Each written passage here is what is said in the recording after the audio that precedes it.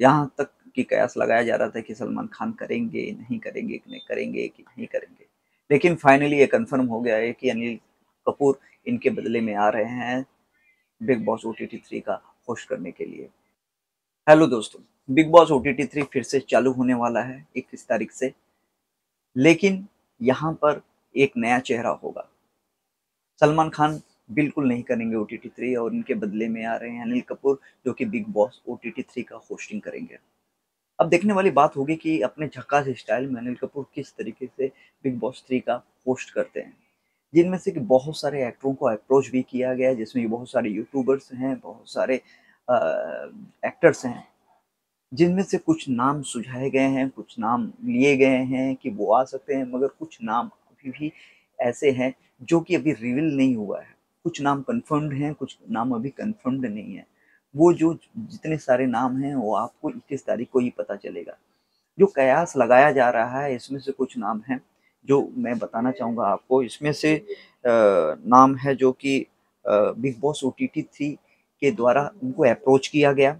एक नए नाम आए हैं, जिसमें से कि आपका हर्षद नुपुर सेनन जी, कृति सेनन की जो बहन है, वो भी आ सकती हैं। उनको भी अप्रोच किया गया है। Anshula Kapoor in serious talk में, जो बहुत सीरियसली जिनसे बातें चल रही हैं, वो rapper R C R, Bhavya Gandhi, Khushi and Vivek, Vishal Vishal confirmed हैं, जिसमें चेष्टा और निखिल यूट्यूबर में जतिन एंड निधि तलवार और सिंगर में एक नवजीत सिंह करके हैं। ये फाइनलिस्ट अप्रोच किया गया है। ये फाइनल नहीं है, ये अप्रोच किया गया है फाइनली देखा जाएगा कि इसमें से कितने लोग जो हैं निकल के सामने आते हैं। और कुछ नाम एक है जिनका मैं लेना चाहूँगा, जोगिंदर, भाई जोगिंदर, उनको भी अप्रोच किया गया है। YouTube Armaan Malik is hundred percent confirm है। अरमान मलिक अब देखने वाली बात है कि क्या होता है। और बता ही दिया है, जितने नाम हैं आपको मैंने बता दिया है।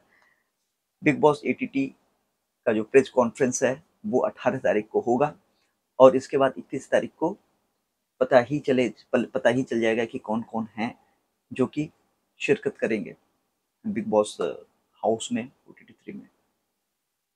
और बाकी खबरों के लिए ऐसे ही बने रहिए।